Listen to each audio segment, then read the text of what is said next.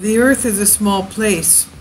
When we look at these geological changes and events, how a volcanic eruption in Japan caused starvation in Europe, the eruption of the Japanese volcano in 1100 may have triggered a series of events that led to a severe famine in Europe, according to a news report.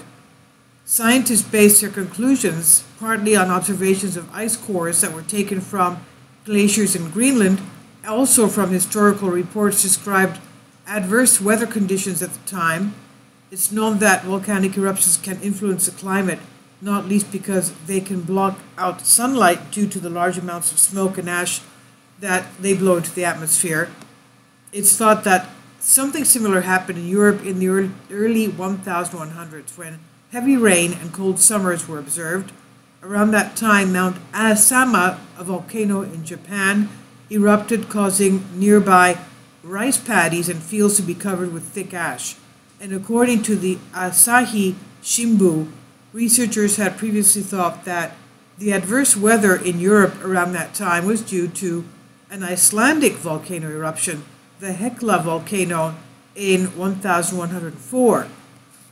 But researchers analyzed this Greenland ice core and found that increased amounts of volcanic sulfate did not seem to match up with that theory.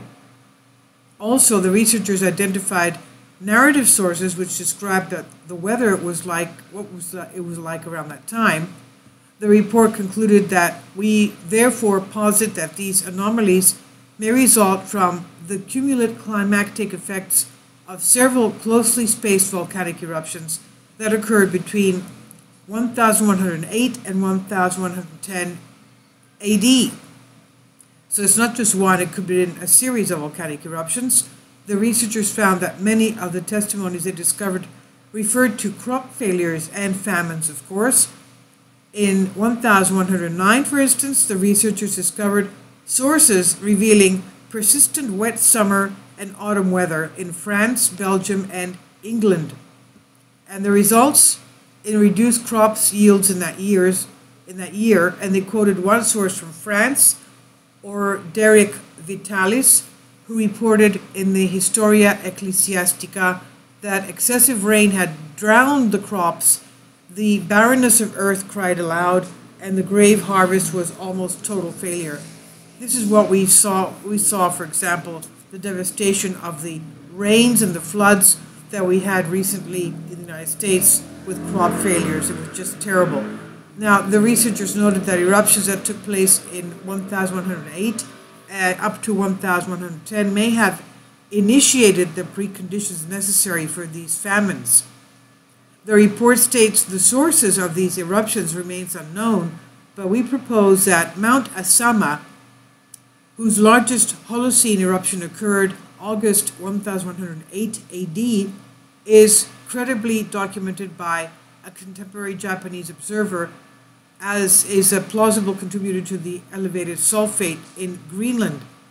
Dendroclimatology and historical documentation both attest to severe climatic anomalies following the proposed eruptions, likely providing the environmental precautions, preconditions for subsistence crisis experienced in Western Europe between 1109 and 1111 AD.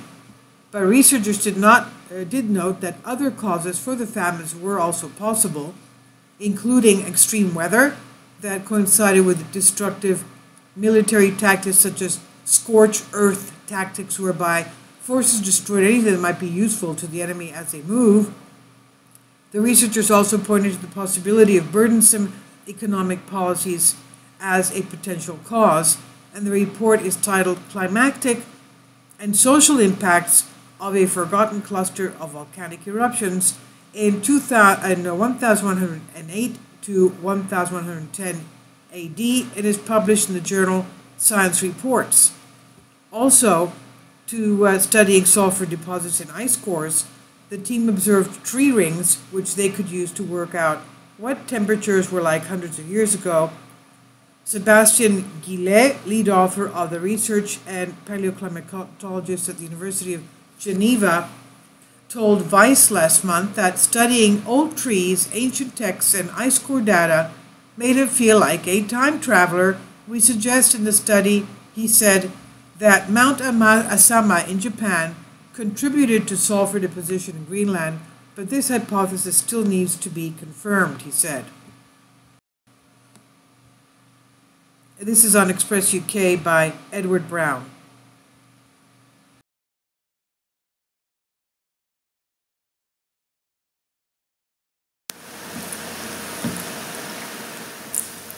If you'd like to join me on my Patreon account, you will hear content not covered by mainstream media. These riveting stories will be based on my research, and I will state my opinions and give my personal insight on diverse and controversial subjects and world events, events not covered by mainstream media, and not certainly on not supported by YouTube guidelines. So whatever I have on my Patreon, most of those will not be on my YouTube channel. Please consider becoming a member today. More of the, the most significant and important videos will be on my Patreon channel. Your support helps me to continue my research and keeps this YouTube channel alive. And we depend on your support, your generous charity, because we help economically challenged families here in Athens, Greece, in Kapota, and we also help the young generation with university tuition and the community around our church. Thank you.